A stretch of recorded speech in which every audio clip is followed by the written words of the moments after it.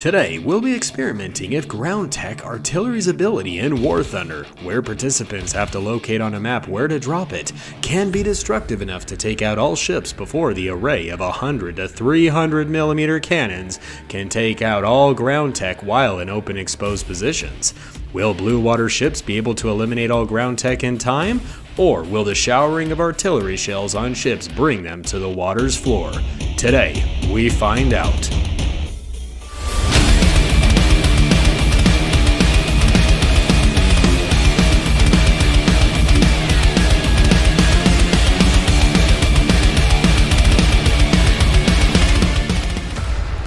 Be doing three rounds. First, we'll test out how well one ship can last as 35 ground tech units with arty abilities drop it right on the ship while it tries to take out exposed ground targets.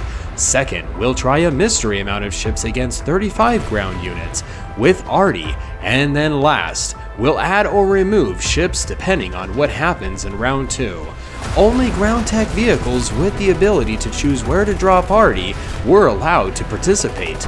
We learned that Arty couldn't be chosen to be dropped very far, and therefore ships needed to be very close to land in order for this to be possible to test. Once ready, the ship had to stay in one position, and the amount of downward arrows you're about to see when this starts is War Thunder's way of identifying where and how many participants are choosing to drop artillery there. Let's see how one ship can do.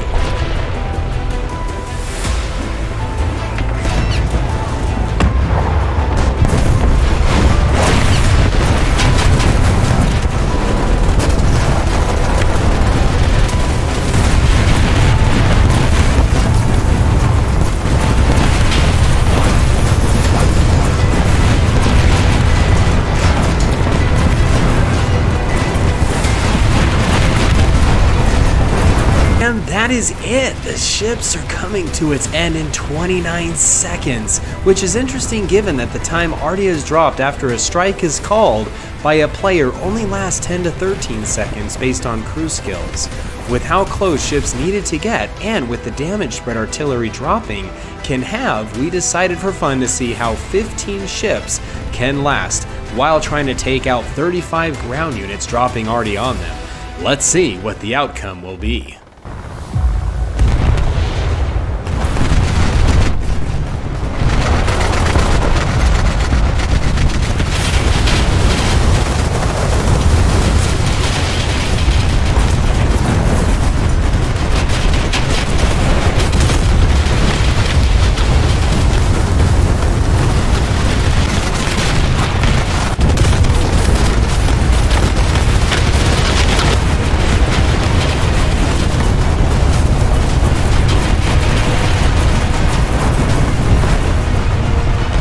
That's only one ship down, while only 19 ground targets are left waiting for their artillery to reload again for about two minutes.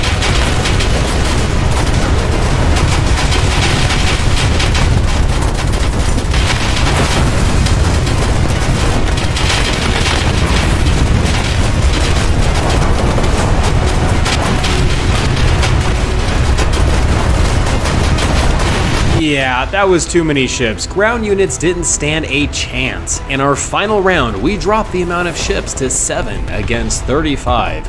Let's see how this changes things.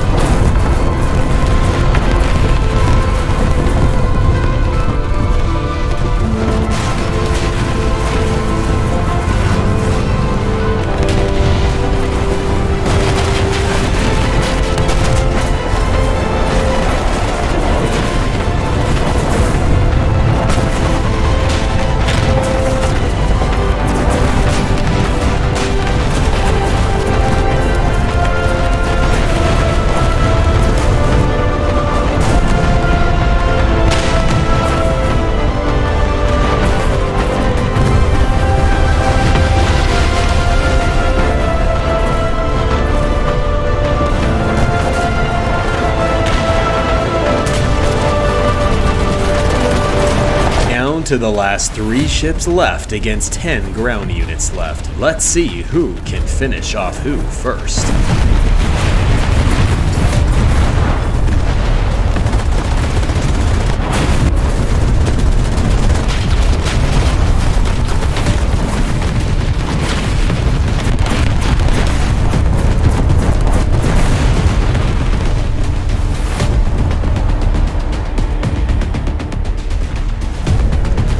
With all ground targets being destroyed and only two ships left, this was quite the experiment.